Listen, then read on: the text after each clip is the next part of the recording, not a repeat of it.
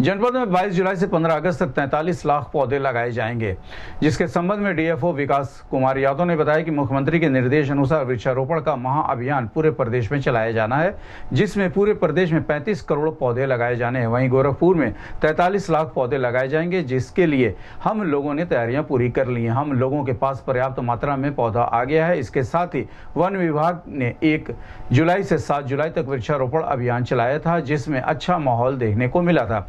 जिसके तहत सभी जनप्रतिनिधियों ने वृक्षारोपण किया था। अभी भी हम लोग अभियान चला रहे हैं, जिसका निर्देश मुख्यमंत्री के द्वारा प्राप्त हुआ है। हम लोग 22 जुलाई को 30 करोड़ प्रदेश में पौधारोपण करेंगे और गोरखपुर में 22 जुलाई को 35 लाख पौधारोपण किया जाएगा। बाकी का पौधारोपण 15 अगस्त को किया जाएगा। इस संबंध में गोरखपुर से बात करते हुए डीएफओ विकास यादव ने कहा। इस वर्ष वृक्षारोपण महाअभियान के तहत माननीय मुख्यमंत्री जी के द्वारा दिए गए निर्देशानुसार हम लोग पूरे प्रदेश में 35 करोड़ और गोरखपुर में तैंतालीस करोड़ तैंतालीस लाख पचास हज़ार पौधे लगवाए जा, लगवाएँगे।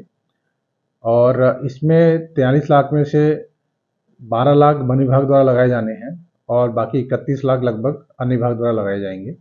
इसके लिए वन विभाग द्वारा पूर्ण तैयारी कर ली गई है।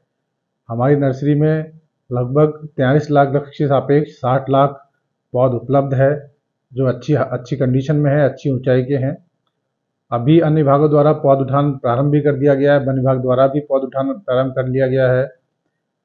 सभी कागज़ी कार्रवाई हम लोगों ने पूर्ण कर ली है इंडेंट जारी हो गया है।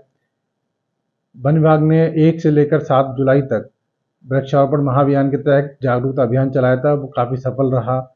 नुक्कड़ नाटक, निबंध प्रतियोगिता, माननीय जनप्रतिनिधियों से वृक्षारोपण कार्यक्रम आदि कराए गए थे। इसी कड़ी में हम लोग अभी भी जागरूकता अभियान लगातार चला रहे हैं।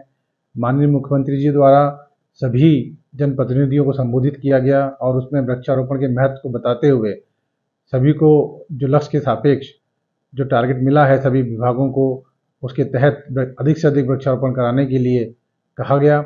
इसी क्रम में हम लोग अभी जो है सभी माननीय सांसद, माननीय विधायक और अन्य जनप्रतिनिधियों से लगातार मुलाकात करके और वृक्षारोपण के लिए लोगों को जागरूक करते हुए अधिक से अधिक वृक्षारोपण कराने के तरफ़ बढ़ रहे हैं। 22 जुलाई को हम लोगों को 35 करोड़ में से 30 करोड़ का वृक्षारोपण पूरे प्रदेश में करना है और बाकी जो पाँच करोड़ है वो 15 अगस्त को करना है। उसी क्रम में गोरखपुर में हम लोगों को लगभग 36 लाख पौधारोपण 22 जुलाई को करना है और लगभग जो सात से आठ लाख पौधारोपण है, हम लोग पंद्रह अगस्त को करेंगे।